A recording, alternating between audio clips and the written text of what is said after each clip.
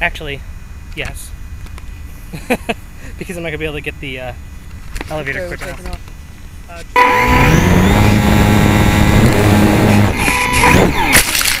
you threw it way up.